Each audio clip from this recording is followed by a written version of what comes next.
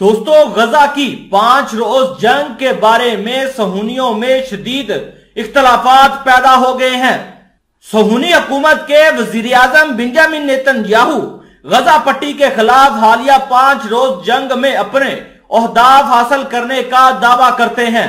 वहीं बहुत से तजियाकार और सहूनी बसरीन तलाबीब को इस जंग का शिकस्त खुर्दा करार दे रहे हैं, क्योंकि इसने इस जारियत के आगाज़ से ही अपने मकासद हासिल नहीं किए।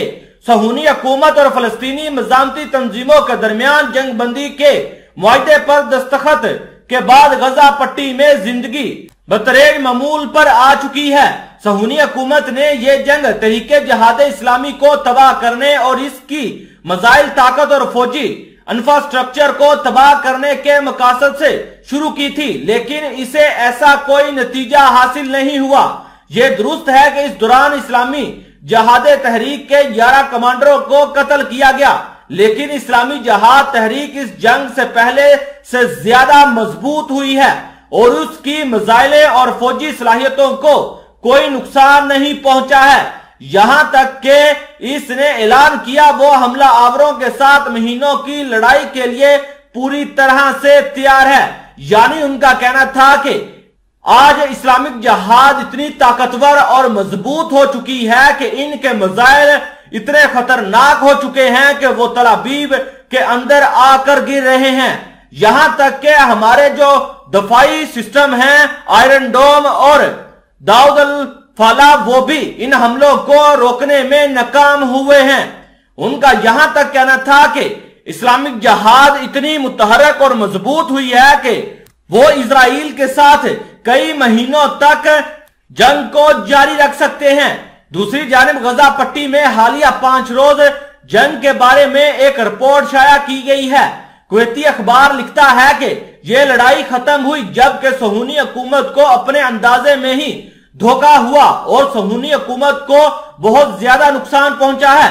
दूसरी जानब देखा जाए तो पाँच रोजा जंग की बंदी के बाद इसराइल के अंदर काफ़ी ज़्यादा गवा गुस्सा देखा जा रहा है और नेतन याहू को कोसा जा रहा है कि ये जो जंग आपने पाँच रोज तक जारी रखी है, इसके अंदर आपने क्या हासिल किया है?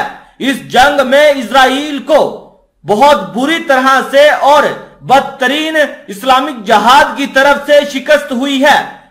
वहीं ईरान ने भी एक बार फिर बयान जारी किया है और ईरान के जनरल इस्माइल काइनी ने एक बार फिर सहूनी हुकूमत के बामुकाबिल फलस्तीनी महाज की दामाई हमायत पर मबनी ईरान के मौकफ को दोहराया है। सिपा पासदान इनकलाब इस्लामी की। कुद फोर्स के कमांडर जनरल इस्माइल काइनी ने इस्तकामी महाज के नाम पर एक पैगाम में ये बात ज़ोर देकर कही है कि कुद्स और मगरबी किनारे और पूरे फलस्तीन के मुजाहिदीन ने साबित कर दिया कि फतह की सुबह करीब है।